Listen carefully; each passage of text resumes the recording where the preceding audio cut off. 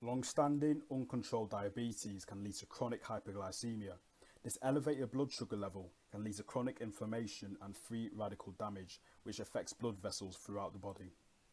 Some of these diseases can be classed as microangiopathies whereby the fine capillary beds in the body are affected by this inflammation. This can cause diabetic eye disease in the retina or diabetic nephropathy in the kidneys. Macroangiopathies, however, refers to the accelerated atheroma formation, again secondary to the chronic inflammation. This can lead to disease such as coronary artery disease, peripheral arterial disease, or a stroke.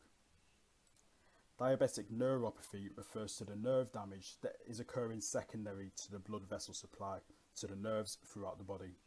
This may manifest itself as a peripheral neuropathy or as a mononeuropathy of a single large nerve such as a third nerve palsy or as an autonomic neuropathy. And in diabetes, this can affect factors such as blood pressure, urinary retention, erectile dysfunction, amongst others.